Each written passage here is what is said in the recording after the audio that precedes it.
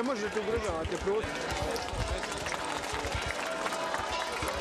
Mislim da vlada Republike Hrvatske vrlo jasno pokazuje da želi pomoći, pomagala je ovdje, pomagat će i u buduće upravo evo ulaganjima u važne projekte, one koje su kulturne, obrazovne i razvojne naravi. Ovo je velika podrška za nas Hrvate, da nismo postanili kod svoje kuće. Evo, zahvalio bih Hrvatskoj za sve što čini da ostanemo i opstanemo. Evo, sami ste vidjeli da nismo na teret nikomu, nego bi ljudi zbilja žele, žele ovdje živjeti, raditi i opstati. Pokazuje da je Republika Hrvatska i Bosna i Hercegovina dvije prijateljske susjedne zemlje koje dijele tisuću kilometara granice, da su upućene na jedna na drugu u svim životnim segmentima.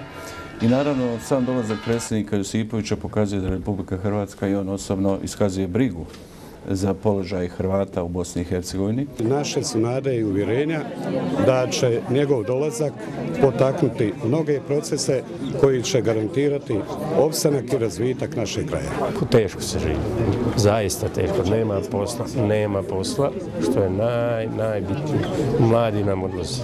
Što se tiče ovdje moga susjedstva, ja sam prezadovoljna, ja ne mogu ništa loše da kažem. Stvarno ne mogu.